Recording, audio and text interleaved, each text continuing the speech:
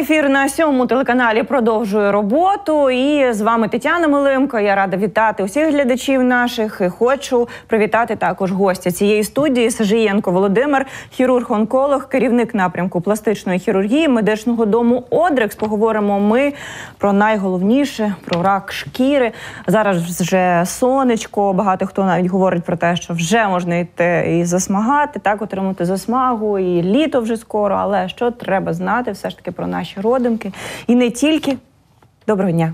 Здравствуйте. Чи правда, що родимка може бути небезпечною? Як зрозуміти взагалі, що її вже варто віднести до лікаря? Ну, давайте вначале дадим определение. Перед вами как бы в двух лицах э, и хирург-онколог. Вот на сегодняшний день у меня 13 лет стажа и э, пластический хирург. Почему так совпало? И вот и тема как раз родинок. Родинки — это то, что находится на нашей коже — и то, что, а, если буквально от этого слова отталкиваться, то, что те пятна или какие-то изменения на коже, которые появляются от рождения. Ну и родинками еще называется то, что появляется в течение нашей жизни.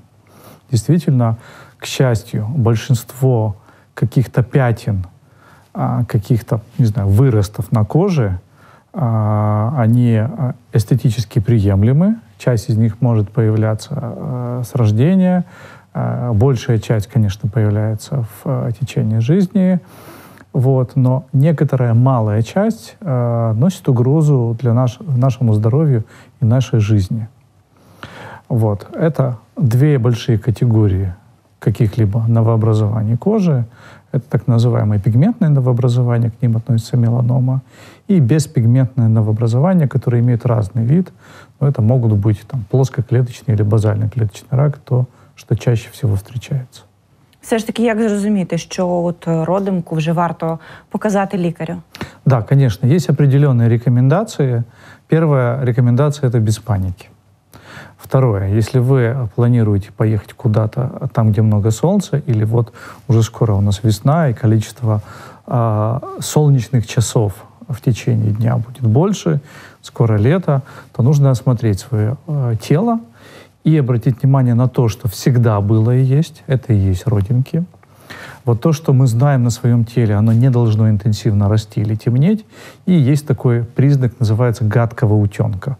Легко запомнить, ну, потому что вот гадкий утенок. Да? что ж там? Вот представь себе какую-то черную удочку, вот а, что-то а, у нас была ровная, неизмененная кожа или участок кожи, и там что-то вновь появилось. Вот недавно не было, или там два месяца назад не было, или полгода назад не было, и вдруг появилась. Или была какая-то светло-коричневая родинка, которую мы знали 10 лет, полжизни, угу. и она ни с того ни с сего начала темнеть. Это повод обратиться без паніки, перше, второе обратиться к кваліфіцированому дерматологу. А мені да. вже хочеться передивитися усі родимки. Без паніки. Але це не погана ознака, тому що насправді рак шкіри взагалі е, в лідерах, мені здається. Ну, давайте пугать не буду. Да, действительно. Мы, мы живем в регионе, где количество солнечных дней в году в нашей стране наибольшее. Конечно. И, соответственно, есть пропорция вот степени облучения под ультрафиолетом и а, появление на открытых участках тела, это лицо, шея, декольте, открытые участки, а, каких-либо новообразований, и в том числе злокачественных в течение жизни.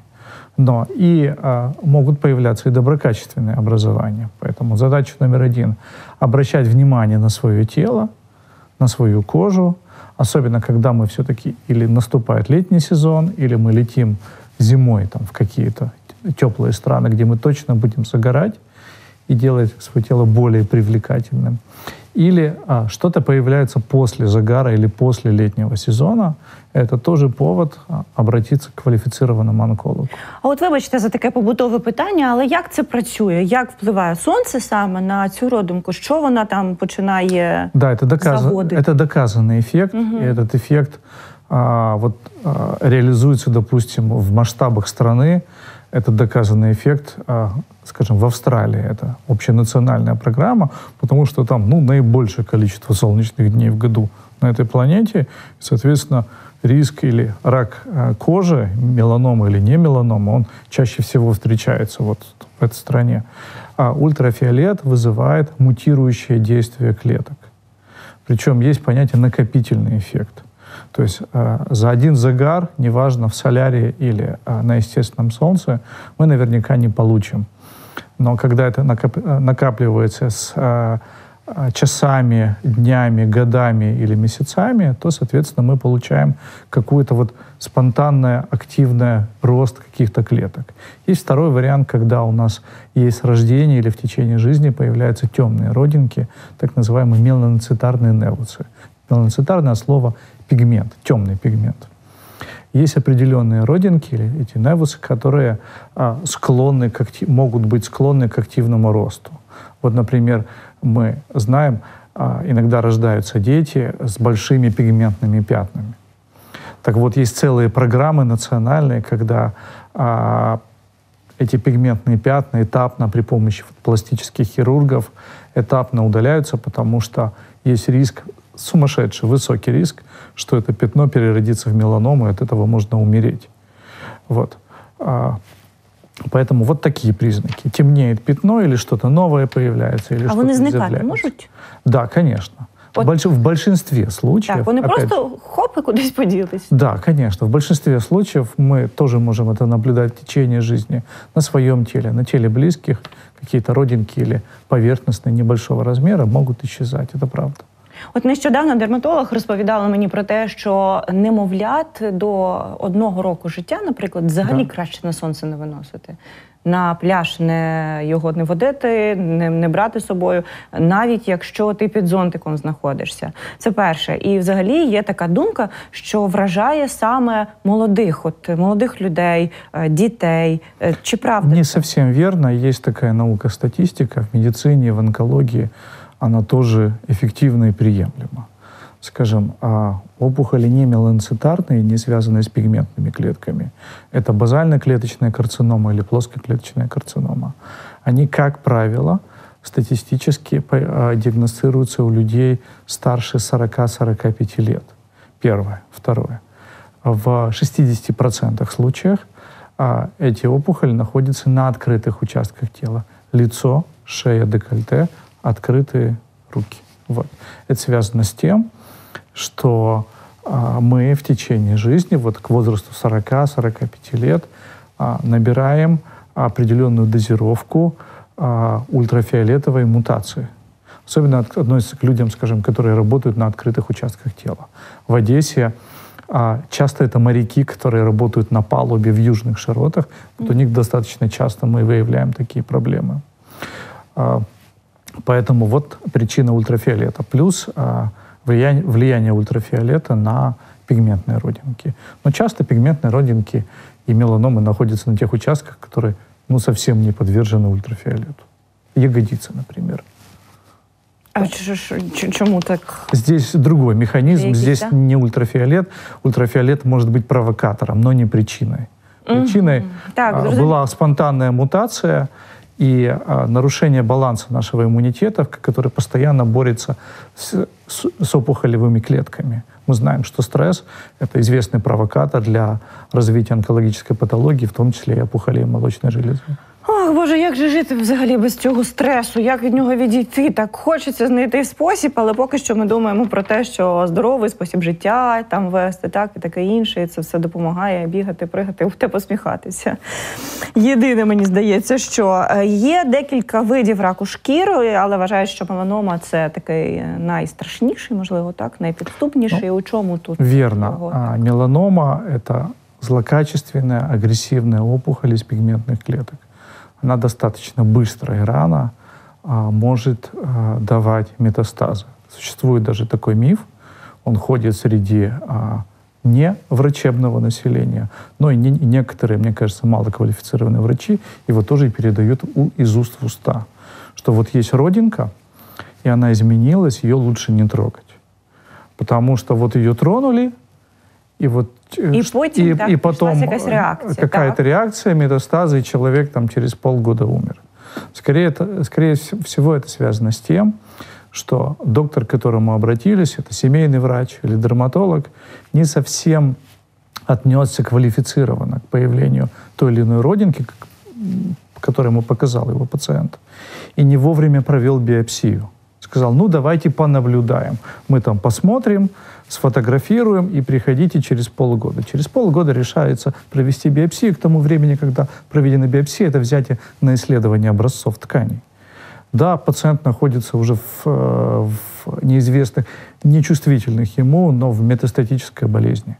Поэтому задача — это квалифицированный подход. Сейчас мы имеем возможность применять международные протоколы диагностики правильного вида биопсии і, соответственно, своєвременного лічення. З якими симптомами пацієнти вже звертаються до лікаря, і що повинно занепокоїти людину? Ну, по-перше, ми вже поговорили про те, що там зростання чи потемніння да, ділянок да. шкіри, а ще температура. Не знаю, ну там. вот давайте все-таки по-другому разделим так. этот вопрос. Первое, ну, вот мы поговорили о меланоме. Как правило, это родинка, которую мы знали или появилась на ровном месте, ее никогда не было. Или родинка, которая начала темнеть, возвышаться, изъязвляться и увеличиваться в размерах. Это повод обратиться. Второе — это какие-либо изъязвления, маленькие ранки, которые у нас появляются на теле в виде прыщенка, но которые не проходят месяц, два, три. Вот если больше месяца что-то или двух... Як язви такі, так маленькі? Это может быть или, и- или маленькая бляшка, которая ни с того ни с сего появилась, и мы можем это расценить как аллергия. Это такой вид роста опухоли. Или как маленькая язвочка, которая, которая прижигается полынью, прижигается перекисью. Половину Зелень. истории мы знаем, что за ней наблюдают, хотя стоит сделать определенные исследования или взять биопсию и понять, да, это добро или зло. Добро, замечательно, вот у нас есть документ, живем дальше, а, проводим какие-либо профилактические мероприятия. Но есть вторая группа пациентов, и с ней, к сожалению, мы сталкиваемся чаще всего. Это пациенты, которым каким-либо образом а, недиагностированную опухоль прижгли или обработали. Давайте что-то. Это вот какая-то базалиомка. Базалиомка называется базально-клеточный рак кожи во всем мире. Вот. И мы ее прижгли как, каким-то холодом, какой-то там, каким-то Ну, лазером. азотом там чим зараз Да, його, да? все замечательно. Правда, она заживала полгода, а еще через месяц на месте этого красивого рубца, особенно это проблемно, когда это область лица, века, губы, то есть еще эстетически и функционально значимая зона. Это вновь начинает расти. И тут, увы и ах, мы разводим руками. А, а что же делать, мы не знаем, это какая-то опасная зона. А просто изначально был не выбран неверный план лечения. И вот мы, э, нам приходится а, применять достаточно большие хирургические лечения после такого вида лечения. И с э, пластиками для того, чтобы глаз г- глазная щель закрывалась, а нос был на месте, и губа была симметричной, и лицо было симметричным. Вот поэтому Ну, и хирургия, и пластическая хирургия, онкология Так. идут всегда вместе. А такой папилломы? проблеме. Папилломы а, в большинстве случаев, скажем, в 90% это доброкачественное состояние. Особенно это касается папиллом на теле. Есть еще отдельный папилломатоз генитальный, там другой вид герпеса это вызывает. И действительно, эти папилломы на промежности или генитальный герпес, он может быть связан с э, переходом в плоскоклеточный рак. Но, как правило, это у пациентов, у которых есть какой-либо иммунодефицит. Так, е, як діагностують взагалі е, е, онкологічні захворювання і що треба е, ро- робити, куди звертатися, які аналізи? Ну вот несколько шагов. Первое, без паники. Второе, а, выберите себе а, доктора, который специализируется на онкодерматологии. Не общего врача, не общего онколога, а вот онкодерматология. Причем желательно, чтобы этот доктор э, имел а, возможность включать полный цикл ди- как диагностики, так и лечения. Тогда ему легче выбрать именно в вашем случае индивидуальный план как диагностики и лечения. Третье. Конечно, это тщательный расспрос и осмотр. Когда это появилось, как это изменялось, как это, возможно, лечилось, снова появилось. Анализ э, внешних данных, иногда фотодокументирование.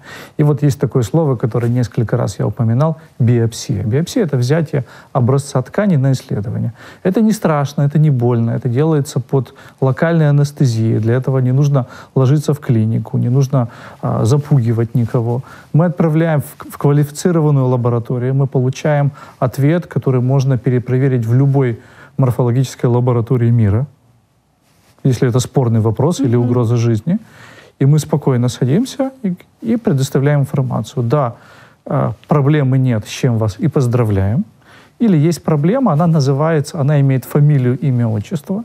И согласно международным э, стандартам она лечится так, так, так. Или нужны какие-то дополнительные методы диагностики. И главное, все эти слова можна всегда перечитати і перепроверити. А взагалі, чи залишаються от після операції видалення і родимок, і там навіть папілом, чи так, да. якихось інших втручань, сліди на шкірі? Ну, вот здесь закон такой, чем а, меньше размер какого-либо новообразования, тем меньше и вот внешний остаточный косметический дефект. Но давайте не забывать, что если речь идет уже об онкологии, то правило онкологии ничего не оставить там, где мы убрали. Это очень важно. И вот есть такой слоган, когда за спиной а, хирурга-онколога стоит пластический хирург, то хирургу-онкологу легче убрать все, что нужно, чтобы болезнь не вернулась в этом месте, а пластический хирург этот дефект с успехом закроет с точки зрения функции. Допустим, у век есть функция закрытия глазного яблоко, да, глазной щели, защитная функция, или губы.